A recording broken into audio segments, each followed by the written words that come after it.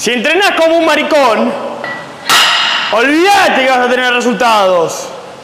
Si entrenás como un trolo, vas a tener resultados de un trolo.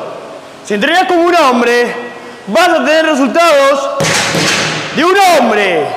Dios, se me sube la testosterona cuando golpeo las cosas. ¿Vos qué querés ser? ¿Un trolo o un hombre? Tenés que entrenar fuerte, pesado.